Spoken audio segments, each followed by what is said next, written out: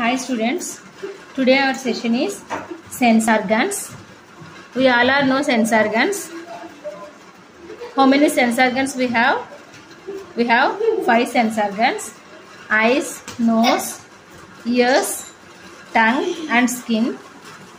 These sense organs are give stimuli to our brain and the brain replies to that action.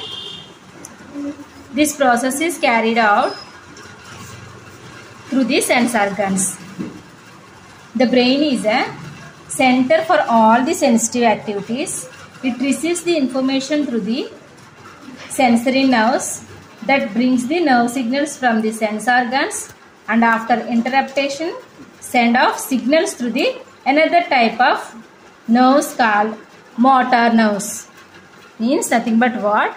Through this motor nerve the stimulus are passes through the brain to that uh, when the information reaches to the brain the reply from the brain is carried out to that particular sense organs. See example. If a mosquito biting you how you know? You know the pain your leg. You are the response. What you respond? You immediately beat the leg. That is the response sent from our brain. This is the stimulation to sensation. The stimuli reaches the brain. The reply from the brain is performed by the action. For example butterfly uh, sit on a flower. You try to catch that. What happen? It will fly up. How it knows it will be sensed from the surroundings. It will escape from you. These are the information carried from the surroundings. The main purpose of this sense organ is to food to survive. These are the main purpose of the sense organs to protect ourselves. These are the main purposes if you touch the hot coffee what will happen? Immediately remove your hand. If anyone beating you you are immediately react to others. This is all because of the senses, sense organs. The most important sense organ is eye. Today i will try to explain the structure of the eye. Structure of eye is the one of the sense organ if you see any image it will detect it to our brain and replay from this brain that particular object is particular color. For example you saw a leaf. It is green in color. How you know? If you saw that leaf that image passes to the brain and the brain send the reply that is a green color leafy structure then you identify the that is the leaf. This is the external eye. External eye has mainly three parts. Eyelid this is eyelid. These are the eyelashes.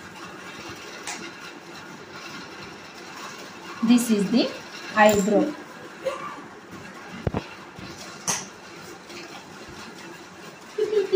eyelid, eyelashes and eyebrow. This is the external part of the eye. Only one sixth part of this eye is we are able to see. The eye is fixed in the eye socket of the brain. Eye fixed in an eye socket. Only one sixth part of the ball this is the only one sixth part of the ball we are able to see. The remaining all is fixed in our eye socket. Of the eye.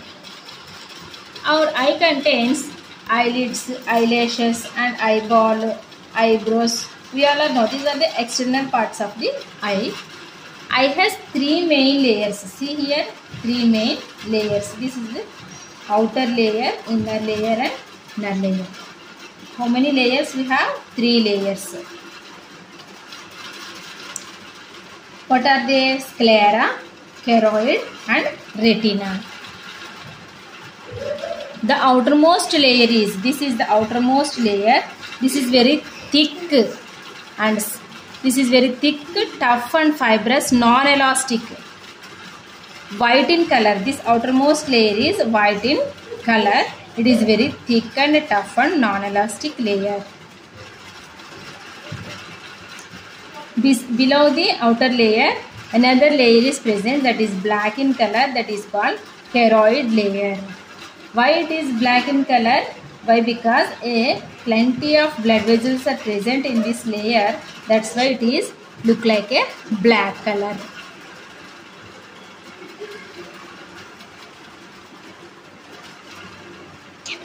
It has blood vessels.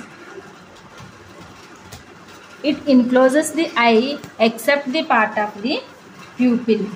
See see here a bunch of blood vessels are present except the pupil.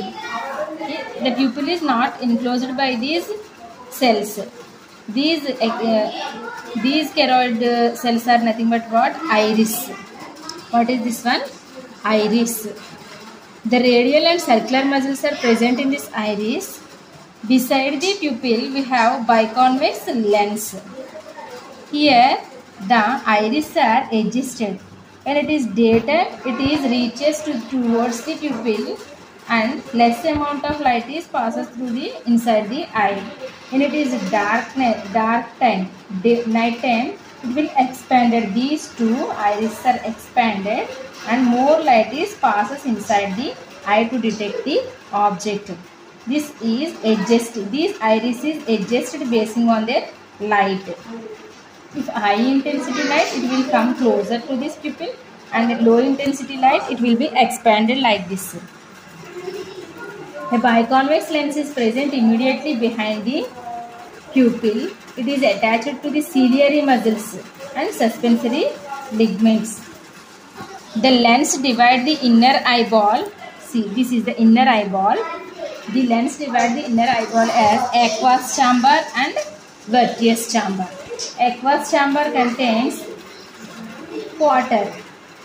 Why? Because aqueous chamber contains water and vitreous chamber contains a jelly like fluid. This is about the second layer choroid layer. Second layer is black in color because of this. So many blood vessels present in this it encloses the eye except the pupil. Why? Because the pupil, through this pupil, the light intensity of light enter inside the eye. The, around this pupil, we have iris. Basing on the intensity of light, this iris are expanded, uh, come close to each other. Not each other, come close to the pupil. Beside the pupil we have biconvex lens. It has two chambers aqueous chamber and vitreous chamber. Vitreous chamber is jelly like structure, structure and aqueous chamber is water contains water. Beside this choroid layer there is a retina. Retina contains cells called rods and cones like this we have. This is the rod cells. These are the cone cells these are attached like this near to each other. Rods and cones. The area of here we have no vision spot. Both eyes have no vision spot. Right have, have no vision spot.